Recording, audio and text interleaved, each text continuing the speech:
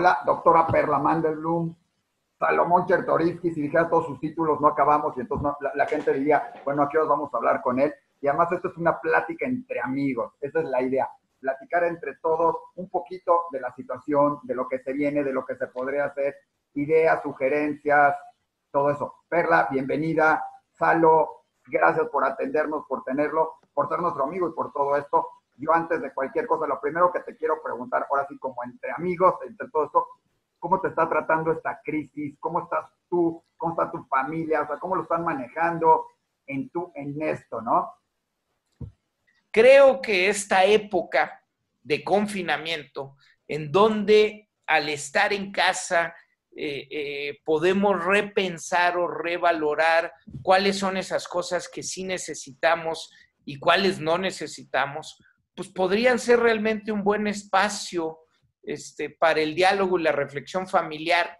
Este, y en fin, este, creo que, que, me voy en esta respuesta de lo privilegiados que muchos de nosotros somos y que hay que decirlo todo el tiempo, de que dentro del privilegio es una época difícil, compleja, cada una de las cosas hay que medirla en su justa dimensión y hay que entenderlo y hay que atenderlo, y tercero, pues que no hemos vivido como generación y sobre todo, quiero insistirlo muchísimo, la generación de nuestras hijas y nuestros hijos no ha vivido una crisis como tal. Esta quizás es el primer asomo de una crisis y eso tendría que llevarnos a la reflexión, a la resiliencia y a la conversación familiar primero, comunitaria después, este, de qué aprendimos a partir de esta centena de días este, de confinamiento y cómo nos puede ayudar eso para una siguiente etapa que sea mejor este, para todos. Salomón, mucho gusto, hola. Eh, quería, quería hacerte una pregunta. Eh, desde tu punto de vista, ¿cómo, cómo, cómo podríamos eh, tener un approach acerca de lo que se vivió en México hace aproximadamente unos 10 años con la influenza? Y cómo lo podemos ver, fue como una práctica, fue como, como ver diferentes enfermedades de, de, trincheras distintas, lo podríamos tomar como una práctica previa, como una base, o cómo ves tú la diferencia entre lo que se vivió en México con influenza y lo que estamos viviendo con COVID. Eh, gracias, Perla. Mira, es, es, una muy buena pregunta y además la tengo muy en el, en el fondo de mi corazón este, pues me tocó dirigir el cuarto de guerra este, eh, en el 2009, ¿no? Con, el H1N1. Eh, eh, yo diría, a ver, empiezo con las comunalidades. Este, pues un patógeno nuevo, una cosa nueva que empieza a circular este, en, en el planeta y que genera montones de incertidumbre este, que al principio eh, pues no sabes bien a bien cuál va a ser la tasa de contagio, cuál va a ser la tasa de mortandad, este, y, pues la incertidumbre genera eh, eh, profundos miedos. ¿Qué pasó en el 2009 y cuáles fueron algunas de las diferencias? yo diría la, la primera cosa que es muy diferente, la primera, es que en el 2009 México, y en particular la Ciudad de México, fuimos el Wuhan del mundo. Es decir, este, fue aquí donde aparece este, el, el 23 de abril del 2009, donde confirmamos que se trataba de una nueva, este, de, una nueva cepa eh, de la influenza donde se nos confirma este, desde laboratorios en Canadá que en efecto es una nueva cepa, este, y donde México se había preparado desde más o menos el 2001 e incluso había hecho un simulacro de pandemia en el 2006, pensando en una gripe aviar del tipo de la gripe española del 18 y el 19. Entonces, cuando llega este nuevo, eh, eh, esta nueva influenza este, a nuestro país, los planes que teníamos hablaban de cerca de 250 mil personas en México que podían fallecer y con toda la incertidumbre, en un principio no conocíamos cuál iba a ser el famoso recero, ¿no? Este, de cada persona contagiada, cuántas iban a contagiar, y no sabíamos cuál era la tasa de letalidad. Los primeros datos que nos llegan en el 2009 eh, eh, pintaban muy mal, pero también hay que decirlo, muy rápido supimos que había un antiviral que funcionaba. Es cuando supimos que había un remedio este, y eh, un remedio efectivo. Cuando una persona se tomaba en las primeras 48 horas de los síntomas el Tamiflu, se curaba. Y eso hace la cosa completamente diferente a lo que estamos viviendo hoy. Eh, eh, ¿Qué nos pasó en este momento en nuestro país? Pues que no fuimos el epicentro. El epicentro fue Wuhan, fue la provincia de Hubei, eh, eh, que tuvimos más de dos meses y medio para aprender lo que estaba pasando en el mundo, para observar lo que pasó eh, en, China, lo que después pasó en Asia, lo que pasó en Europa Occidental con España e Italia. Italia. Tuvimos los meses para aprender, lo aprendimos muy mal. Eso también hay que decirlo. Ahora, en esta comparación que hago con eh, el H1N1 y lo que refiero del Tamiflu, pues sí, eh, eh, además de las diferencias en la tasa de contagio que hemos ido aprendiendo, que la del COVID-19 o más bien la del virus, que es el SARS-CoV-2, es mucho más alta, muchísimo más alta que la de la influenza. La de la influenza es 1.3, es decir, por cada persona contagiada se contagia 1.3 personas más.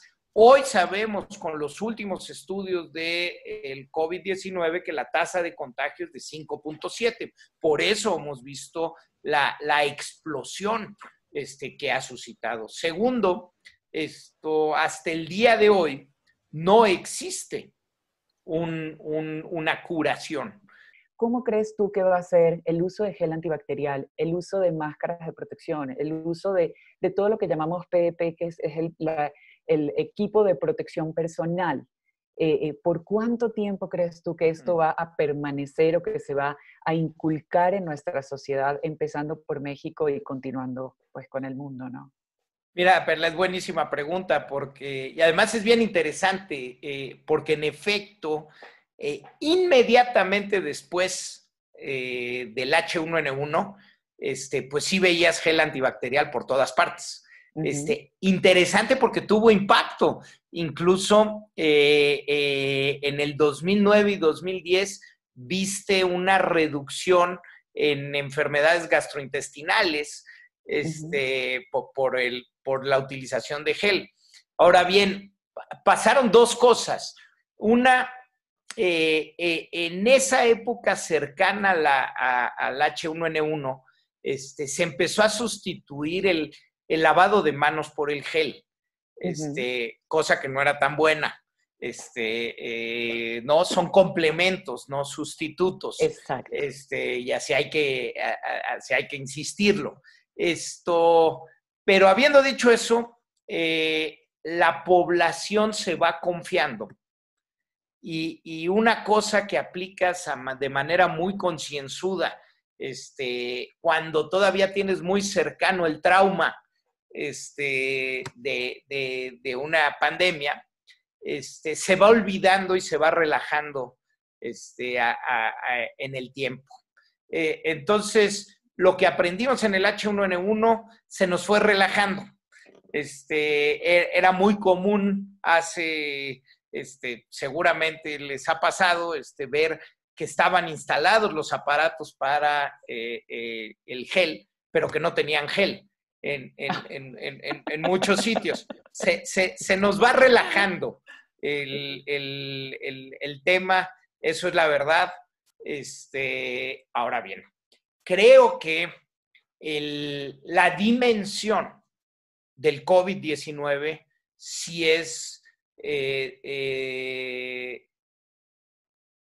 muchísimo mayor y sí creo, sobre todas las cosas, porque no vamos a tener una vacuna pronto, que van a ser muchos meses, incluso años, en donde las prácticas de higiene y de sana distancia van a prevalecer.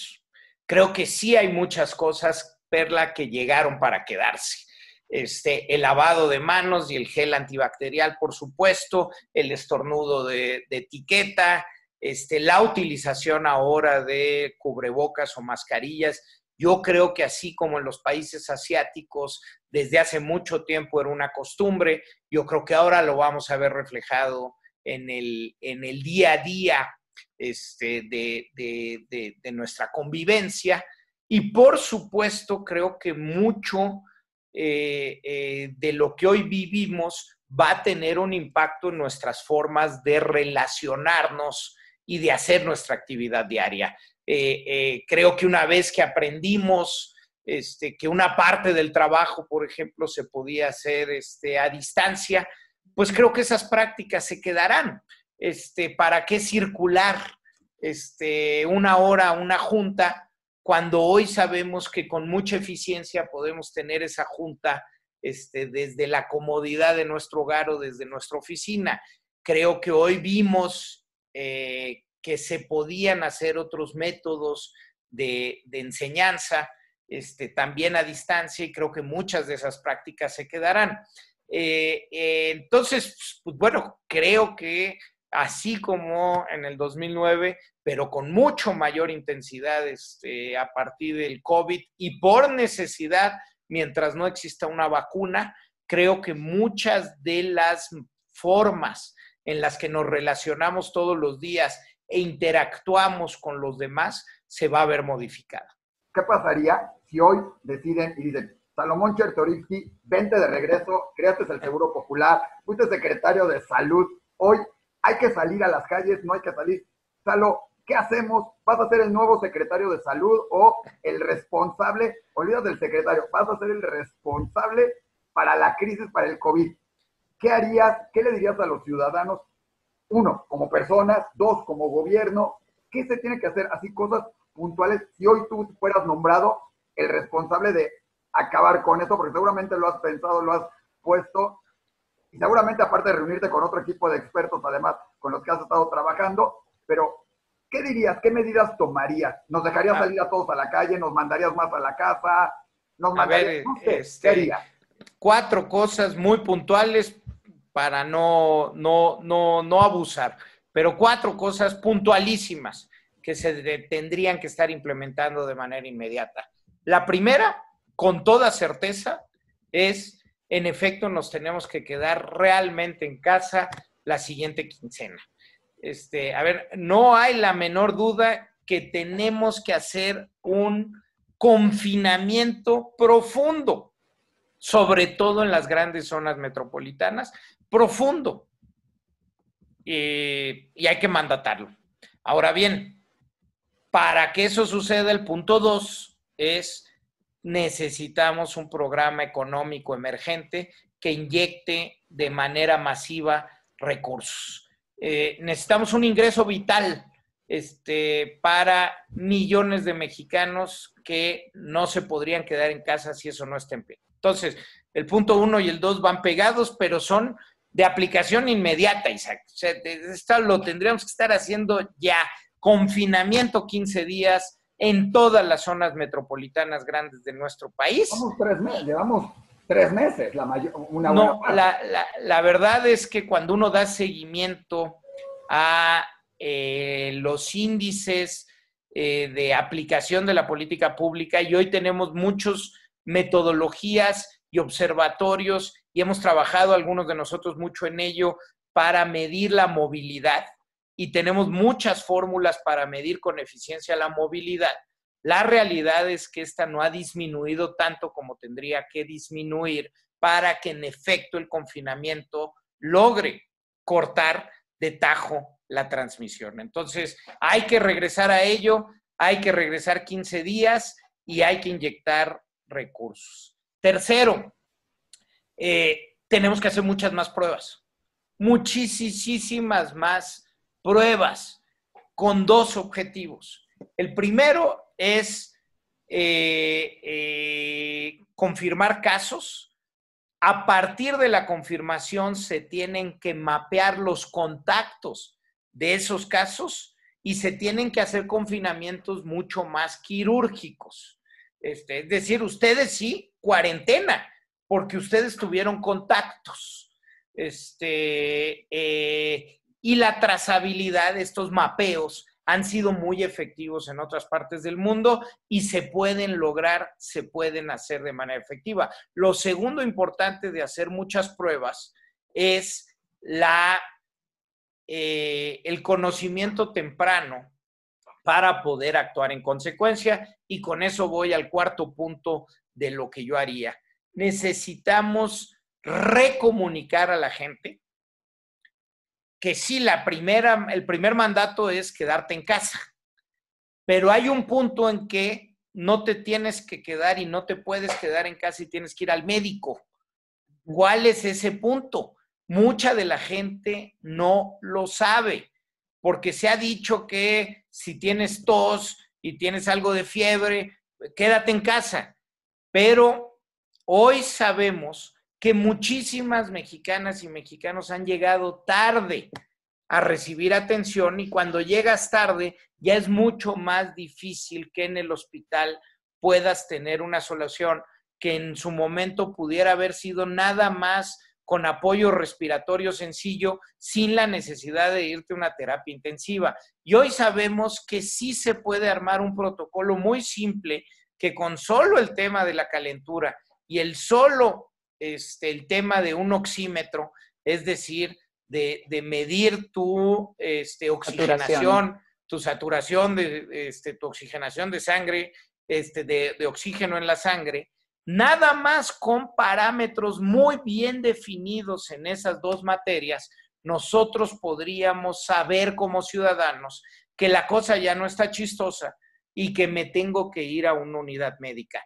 Con eso, sabiendo eso, capacitando no solo y informando a los ciudadanos, sino capacitando, por ejemplo, a todos a través de webinars, a todos los médicos generales este, de nuestro país, todos esos médicos que atienden en los consultorios adyacentes de farmacias. Si esos médicos están dotados con un oxímetro y saben que hay un momento muy específico en donde ya la cosa no es quedarte en casa y esperar a que pase eh, la enfermedad, sino te tienes que ir al hospital para que tus posibilidades de éxito sean muchísimo mayores. Con eso estaríamos avanzando profundamente en evitar muchas de las muertes este, que, que valga la redundancia, son evitables este, si se llega con tiempo a la unidad médica.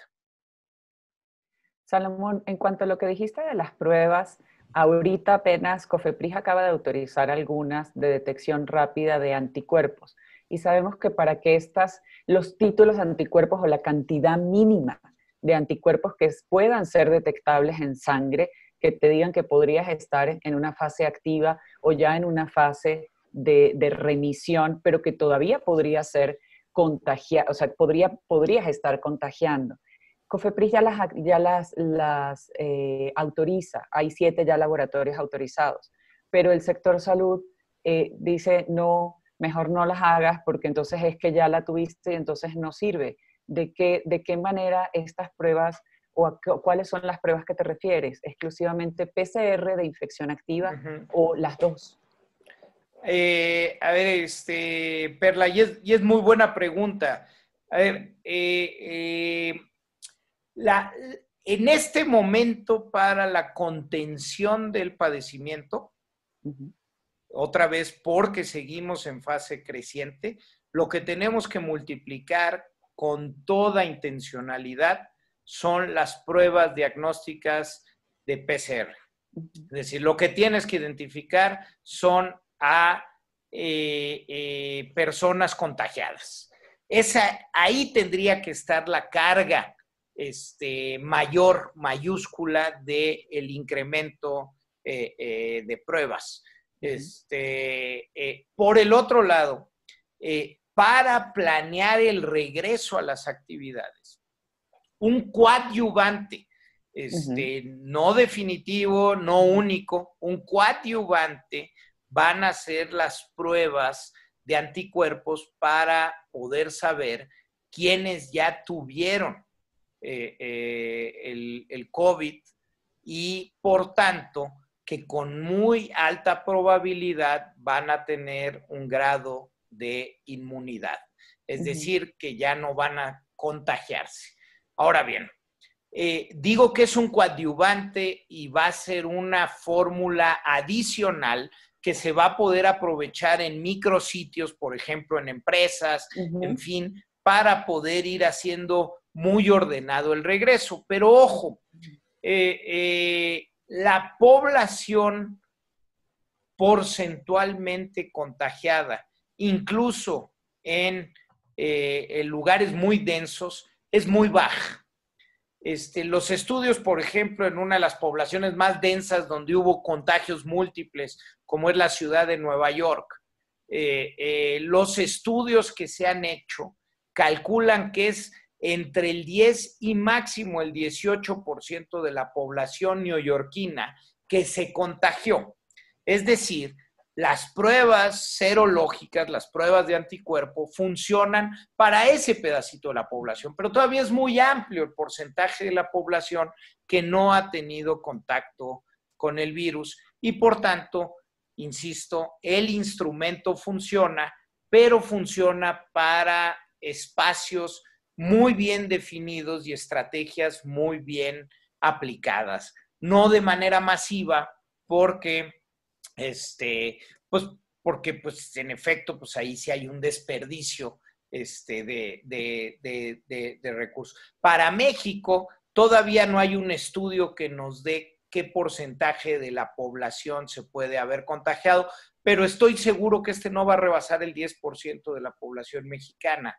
Entonces, otra vez, Perla, en efecto, las pruebas de anticuerpos van a ser importantes, pero como un instrumento adicional para el regreso y con estrategias muy bien planeadas y muy bien configuradas.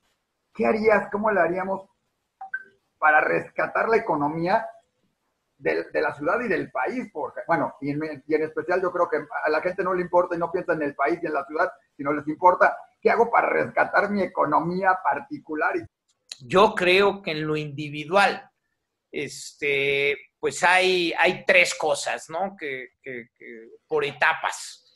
Este, la primera es cómo sorteo la tormenta. O sea, seguimos en la tormenta. Este, cuántos negocios de quienes este, nos están escuchando, pues no han estado cerrados este, eh, pues más de 100 días. ¿Cómo, ¿Cómo tengo el flujo suficiente para poder sobrevivir y sobrellevar estos días? ¿Cómo pagué o dejé de pagar la nómina? ¿Cómo logré cobrar mis, eh, eh, las deudas que, este, que clientes tienen conmigo, cómo, cómo logré pasar la tormenta o cómo me dedico en estas semanas a lograr pasar la tormenta para sobrevivir. Yo creo que esa es la primera, o sea, todo lo que tenemos que hacer en el inmediato es flujo y apretar y cuidar, cobrar y poder pagar lo mínimo necesario para la sobrevivencia. Eh, la segunda etapa es cómo arranco. ¿Cómo arranco? ¿Dónde están los espacios estratégicos para arrancar? ¿Cómo arranco en las mejores condiciones eh, eh, de higiene para cuidar a mi personal, al negocio? Este, ¿Cómo voy evolucionando en el arranque para hacerlo rápido, pero hacerlo seguro? Y esa va a ser una fase en donde pues, vas a tener que pensar con mucha certidumbre lo que puedes o no puedes hacer. Tal vez tienes que reducir el tamaño del negocio que tenías originalmente. Tal vez tienes que replantear el negocio en, en, cómo se formulaba. Tal vez vas a tener que meterte al tema de costos y vas a tener que sacrificar algunas de las cosas que eran obvias en, en, en febrero o marzo, pero que ya no son obvias en este momento. Y por último, sí tienes que planear el largo plazo, eh, eh, pues de manera bien estratégica, y ahí la normalidad, pues también va a ser nueva. Y tenemos que entender que la aplicación, por ejemplo, de tecnologías de la información, pues va a ser más necesaria que nunca. Algunas de estas herramientas, pues las aprendimos durante la crisis, pero vamos a tener que estar abiertos a interpretar y entender al mundo para poder readecuar lo que tradicionalmente hacíamos, pues como nunca antes. Este, creo que hay que decirlo, la situación va a estar bien difícil. Este, decir lo contrario, este, pues, pues, es un engaño, ¿no? Y por eso otra vez regresemos al concepto de resiliencia y sepámonos reconstruir a partir de una gran crisis. ¿Qué podemos hacer en todo este sentido como mexicanos, como ciudadanos, como todo esto en, en México? Podemos lograr un cambio real. ¿Y cuál sería este cambio? Porque además, pues muchos dirán, bueno, ¿y qué se va a cambiar? Bueno, sí, podemos lograr un cambio, pero ¿qué tenemos que buscar como cambio? También hay que pensar qué cambio queremos. Pues como individuos siempre tenemos algo que dar y a alguien a quien ayudar. Eh, eh, es decir, sí podemos salir a esta nueva etapa a ver quién la pasó peor que nosotros y tratar de ayudar. Este, desde quien te corta el pelo, este, quien hace tu jardín, este, o quien te lava un coche, ¿Cómo puedo ser generoso? Cada quien a su alcance con ese mundo que te rodea, que tal vez la pasó este, eh, más mal que tú. Eh, eh, y yo creo que ahí todos tenemos algo que dar y todos tenemos algo que aportar. igual en lo comunitario, este, pues no a todos nos afectó igual esto.